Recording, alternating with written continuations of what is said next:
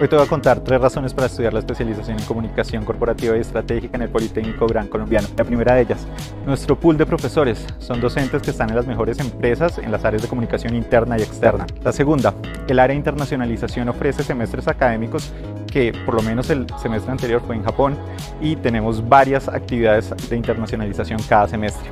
Y la tercera, las actividades de networking que se dan con tus colegas, porque son profesionales que están en las áreas de comunicación interna y externa de la mayoría de empresas del país. Así que es un escenario perfecto para tener las mejores relaciones y avanzar en tu carrera profesional.